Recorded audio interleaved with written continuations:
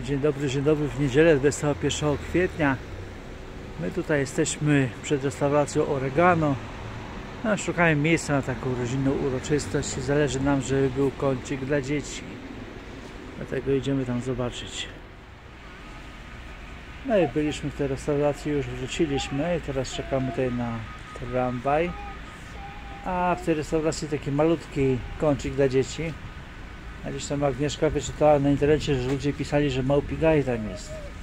Ludzie różne bzdury piszą, a później człowiek traci czas na to, żeby zweryfikować. Jest niedziela, wyjedziemy tutaj właśnie do sanktuarium Miłosierdzia Bożego.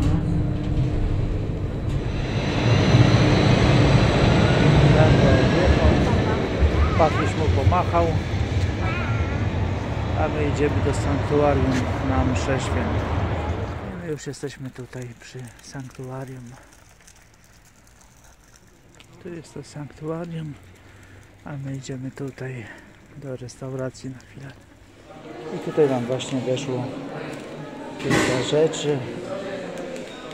A Patryś się bawi tutaj, bo tu kącik dla dzieci jest zrobiony. Patryś tutaj je rosołek sobie.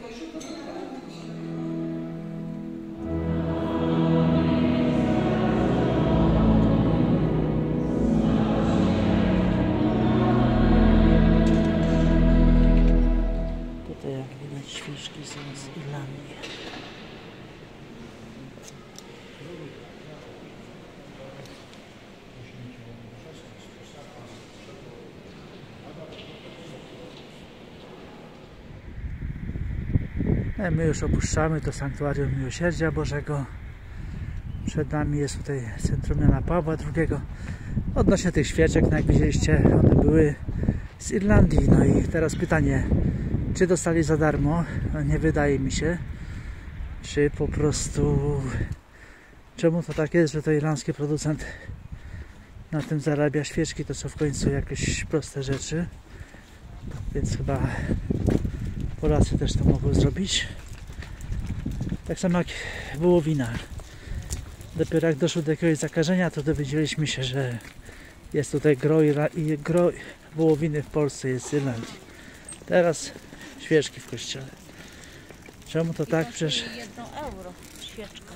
no, Czyli 3 zł tam było. Normalnie to 2 zł. Znaczy no to no, ofiara, ale tak jakby wyznaczyli ile, nie? No i teraz e, no, wyprodukować świeczkę to chyba nie jest filozofia, no. Agnieszka produkuje w warunkach domowych. I to jeszcze z wosku pszczelego, więc naprawdę można to to zrobić. Kielana. No, ale, ale mówię właśnie, czy tutaj nie ma producentów? Producentów? Może ktoś Irlandia daje tutaj, wysyła. No właśnie, no pytanie, jeśli daje za darmo, no to okej, to rozumiem, nie? Ale z drugiej strony jest napisane, darmo daliście, darmo dostaliście, darmo dawajcie, tak? No to jak skoro dostali za darmo, to czemu trzeba ofiary składać? To znaczy tam nie pisze ofiarach, to tam pisze jedno euro. No 3 zł tam pisało. W złotówkach tutaj się podaje chyba, nie? Ale też pisze jedno Aha, i w euro. też można, no dobra. No. Dobrze, to tak, taka rozkmina.